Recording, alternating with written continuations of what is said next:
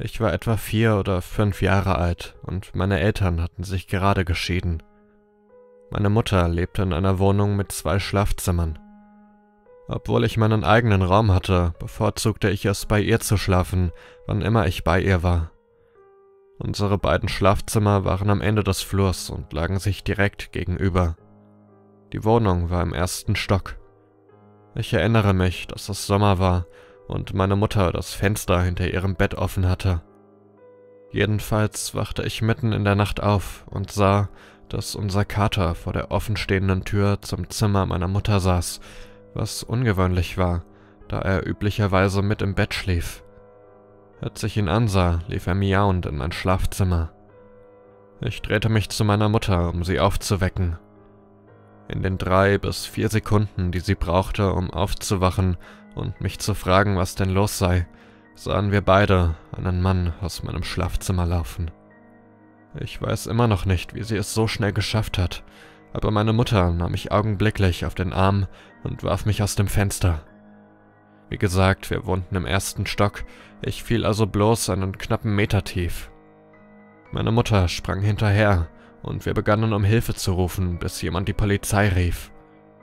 Die Polizei kam, fand aber keine Spuren eines gewaltsamen Eindringens.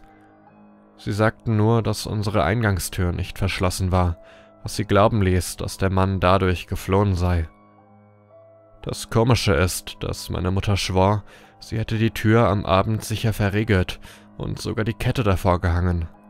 Etwa eine Woche später putzte sie die Küche und fand ein Notizbuch mit Namen und Zeichnungen sowie ein paar Handschuhe und Kaugummiverpackungen in einem der Schränke. Wir riefen erneut die Polizei, aber alles, was sie tun konnten, war zu spekulieren, dass der Mann sich wohl in unserem Haus versteckt hatte, bis wir eingeschlafen waren. Meine Schwester und ich spielten, als wir jünger waren, vor unserem Haus, als ein älteres Pärchen an unserem Garten vorbeilief. Unser Garten grenzte an einen kleinen Friedhof, also war es nicht ungewöhnlich, dass Leute vorbeikamen, da dieses Haus schon um 1800 gebaut wurde und die meisten Gräber von Kindern waren, die damals an der Grippe oder ähnlichen Krankheiten verstarben. Es gibt ein paar schaurige Geschichten von diesem Ort, aber nichts verglichen zu dem, was uns vor all diesen Jahren passierte. Wir spielten draußen und dieses alte Pärchen versuchte vehement, den Namen meiner Schwester zu erfragen, während sie uns immer näher kamen. Wir waren bloß kleine Kinder und wir haben unheimliche Angst bekommen, also rannten wir ins Haus und erzählten unserer Mutter davon.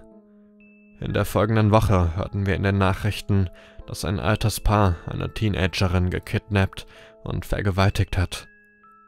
Es war das gleiche Pärchen, das meine Schwester und mich bedrängt hat. Ich bin 22 und dieser Vorfall ist vor etwa einem halben Jahr passiert. Ich war gerade in meine erste eigene Wohnung gezogen und war noch dabei, mich einzurichten. Die Tür in meiner Wohnung verschließt sich selbst, wenn sie geschlossen wird, ich ging gerade das Treppenhaus hinunter zu den Briefkästen, um meine Post zu holen, während ich am Telefon mit meinem Freund redete. Ich kam zurück, setzte mich auf mein Bett und versuchte die Post zu öffnen, während ich mein Handy zwischen Kopf und Schulter klemmte. Es rutschte mir jedoch raus, fiel auf den Boden und unter das Bett. Ich musste mich also auf den Boden legen und meine Hand danach ausstrecken, um es zu erreichen. Als ich das tat, sah ich etwas, was mir mein Herz in die Hose rutschen ließ. Und ich musste mich zurückhalten, nicht zu schreien. Da lag jemand unter meinem Bett. Er lag auf die andere Seite gedreht und war zusammengekauert, also konnte ich sein Gesicht nicht sehen. Aber glücklicherweise konnte er mich so auch nicht sehen. Ich versuchte rational zu denken. So viele Gedanken schossen mir durch den Kopf. Letzten Endes nahm ich mein Handy und sagte, Hey, Entschuldige, ist mir runtergefallen.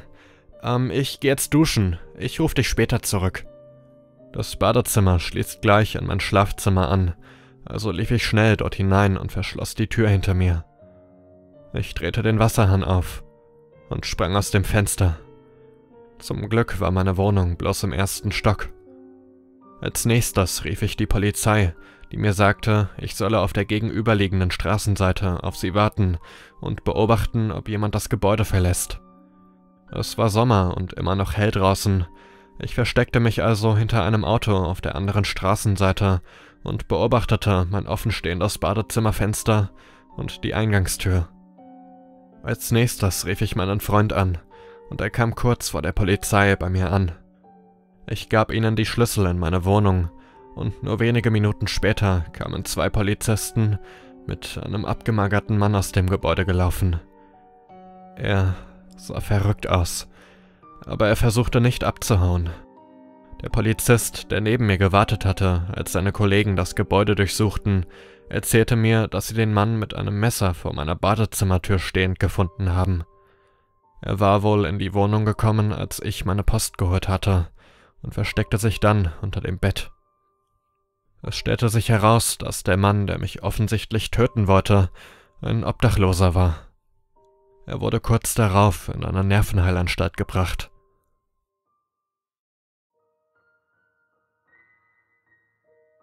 In den Mit-80ern war meine Mutter eine Putzfrau in Australien.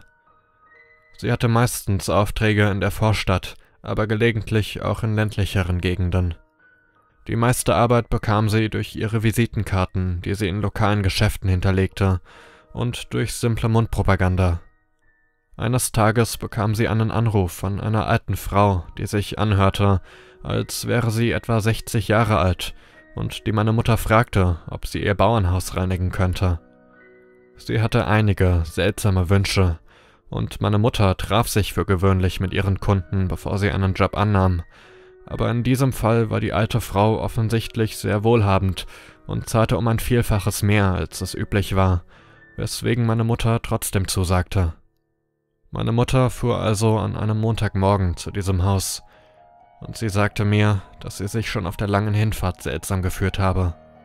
Das Haus war sozusagen mitten im Nirgendwo, auf einem riesigen, leeren Gelände.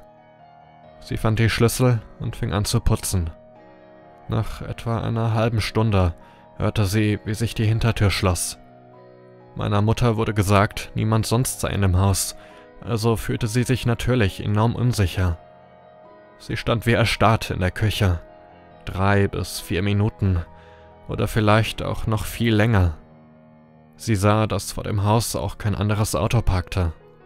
Natürlich wollte sie sofort von dort verschwinden, aber es waren noch zwei Schlafzimmer zu reinigen. Sie entschied sich nach einigen weiteren Minuten dazu, dass vielleicht einfach etwas umgefallen war und das gar nicht die Tür war. Sie lief also den Flur entlang ins Schlafzimmer. Das Bett lag voll mit Schwarz-Weiß-Fotos. Als meine Mutter näher kam, fiel ihr auf, dass sie auf den Bildern zu sehen war. Manche waren bei uns zu Hause aufgenommen worden und viele andere an verschiedensten Orten, an denen sie geputzt hat. Einige durch Fenster oder Zäune hindurch aufgenommen. Sofort rannte sie zum Telefon und rief die Polizei. Sie fuhr zur Sicherheit ans andere Ende des Grundstücks. Der Fall wurde untersucht doch die alte Frau beruhte auf ihrer Aussage, es müsse ein Einbruch gewesen sein. Nach einiger Zeit stellte die Polizei ihre Untersuchungen ein, und wir zogen vier Monate später in eine andere Stadt. Vor einer Weile zog eine Familie nebenan ein. Sie hatten einen Sohn, der einfach nur seltsam war. Er war verrückt nach Splatter und Horrorfilmen und wollte immer, dass ich über Geschichten aus meiner Zeit in Vietnam rede, die kein normaler Mensch hören wollen würde. Außerdem liebte er es, frei herumlaufende Tiere zu quälen. Dieser Typ war einfach nur ein Frack. Er war damals 19 und meine Tochter war 7, aber er wollte immer mit ihr reden. Er versuchte sie in Konversationen zu verwickeln, wenn sie von der Schule nach Hause lief er redete mit ihr über den Zaun, wenn sie im Garten spielte. Aber was mich wirklich beunruhigte war, als er bei uns anrief, um mit ihr zu sprechen. Das war zu viel. Ich ging zu ihnen hinüber und erklärte ihm und seinen Eltern, dass er sich verdammt nochmal von ihr fernhalten solle und ich ihn besser nicht noch einmal zu Gesicht bekommen würde. Ab hier wurden die Dinge seltsam. Meine Tochter war schon immer sehr fantasievoll und paranoid. Sie dachte, es lebten Monster und solche Dinger unter ihrem Bett. Also war ich nicht besonders besorgt, als sie mir erzählte, es hätte in der Nacht etwas in ihrem Schrank gesessen und sie wäre zu verängstigt gewesen, um aufzustehen und es mir zu erzählen. Ein paar Wochen vergingen und meine Frau und meine Tochter verbrachten einen Frauenabend bei meiner Mutter. Ich sah mir also ein paar Filme an und schlief letztendlich auf der Couch ein. Gegen zwei Uhr morgens bekam ich einen Anruf von meinen Nachbarn mit dem gruseligen Sohn. Sie erzählten mir etwas in Richtung, wir haben gesehen, dass du wach bist, also haben wir angerufen. Unser Sohn ist verschwunden. Ich bin auf dem Weg ins Badezimmer an seinem Zimmer vorbeigelaufen und seine Tür war offen, was ungewöhnlich ist. Als ich nach ihm sehen wollte, war er nicht da. Wir brauchen Hilfe, um nach ihm zu suchen. Der Anruf hatte mich zwar aufgeweckt, aber ich lag immer noch auf der Couch, darum fragte ich, warum sie denn dachten, ich sei wach. Oh, wir haben dich im Schlafzimmer herumlaufen sehen. Und außerdem ist das Licht an.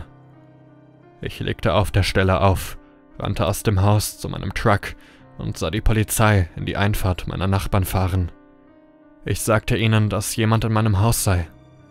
Nun konnte ich auch sehen, dass die Lichter im Zimmer meiner Tochter an waren und dort eine Silhouette auf und ablief. Die Polizisten gingen hinein und fanden den Nachbarsjungen dort oben. Er hatte sich im Schrank meiner Tochter eingerichtet und wartete nun auf sie.